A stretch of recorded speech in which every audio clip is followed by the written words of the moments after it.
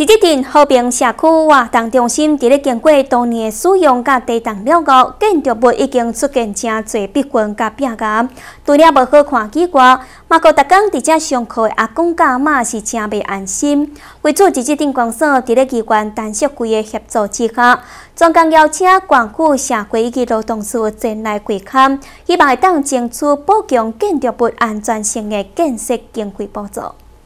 一日镇公所在机关单社会协助下，会同关府社会出来会勘，讨论一日镇和平社区活动中心的建筑补强建设案。一日镇公所希望当地的关会经费补助，才会当赶紧来替这栋对着社区居民真重要的活动中心来重新补强精修。那我们盘点了镇上的这些公有的建物需要哦做整理的一个部分。那之中我们我们现在的这个和平社区哦，就是一个需要做耐震补强的一个点。那这个地方呢啊，也是我们那个有一个整。啊，一礼拜一到礼拜五全天性的一个关怀据点哈，所以说我相信哦，在这边哈来补强它的耐震哦，是非常非常有它的效益跟必要性的。因为这一栋已经建筑三将近三十年，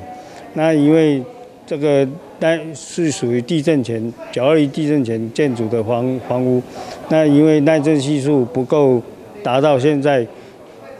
地地震的标准，所以中中央。先建工所经向中央申请核定补助五百，呃，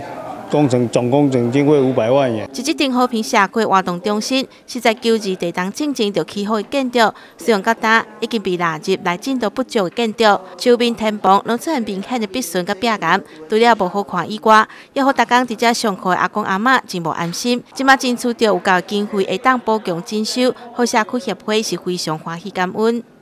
好，所以我们来就跟那个呃中央哈行政院卫福部这边好来做相关的申请，好，但是哈啊我们原本的公所的自筹款哈负担可能要到三百万这么多，那还好有县政府跟陈淑委员的帮忙哈，来负担五十万，让我们哈啊公所可以减轻五十万的负担哈，用总金额五百万的这样子的呃一个规模哈来完成这次的耐震补强，那给我们社区的所有民众好一个健康安全的环境。中央补助两百万元，然后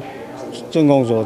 及县政府、地方自筹三百万来来重新去加强耐震结构，那非常感谢县政府的协助，来来完成这个工作，谢谢。在关府甲公所以及民意代表积极会勘甲讨论之下，将会得到有够经费会当来征收，增加和平社区居民，大家爱使用重要活动中心的建筑安全性。记者金山上报道。